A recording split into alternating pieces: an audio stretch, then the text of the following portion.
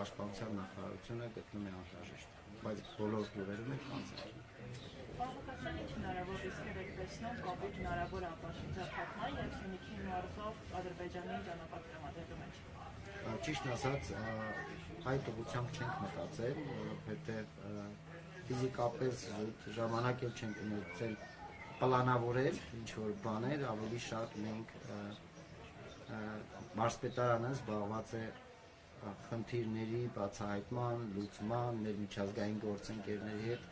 այս խնդիրներով ենք զբաղված, դուք գիտեք, որ իրենք բազմաթիվ են, այս պահին զուտ, այսպես ասեմ, մեզ մոտ գրանցված է ավելի քան 2000 խնդիր, որոնք վերաբերվում են ընդհանուր, հա, ոչ թե մեկ բնակչին։ Միայն ավարտել ենք 4 խոշորացված համայնքներ եւ ինք իրավից ենթադրում են շատ ծանր աշխատանքներ, նաև մեր գործընկերների հետ համատեղ ավելի շատ այս ուղղությամբ ենք մտածում Չգիտեմ էլ այս պահին ինչ պատասխանել, որովհետև իրականում պետք է նախ պատկերացնել, թե դա ինչպես տեղի կունենա, որպեսզի կարողանանք գնահատել այդ ամենը։ Այն որ կարող է երկաթ գից լինել գնալ գալ, բնականաբար դա շատ կարևոր է մեզ համար, որովհետև